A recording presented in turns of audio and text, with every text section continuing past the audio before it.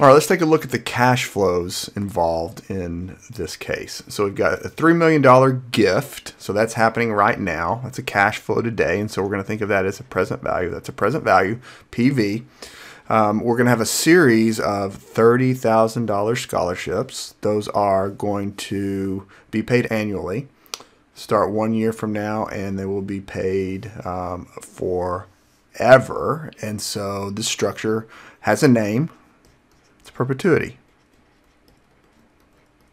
These are funded with a one-time cash donation of $3 million. And so what's the $3 million? This is the present value of the perpetuity. Here's the perpetuity. And so we've got this swap that is taking place. Donate $3 million um, and you get a stream of $30,000 scholarships uh, per year.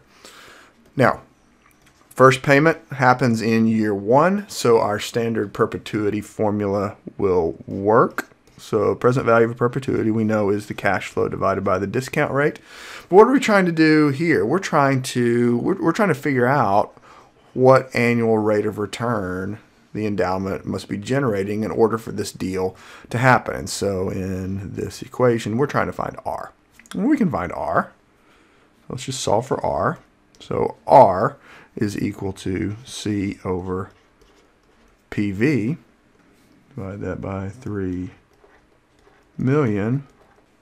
So that is 0.0100. There's the answer, 1%. 1% is the annual rate of return that this endowment is generating.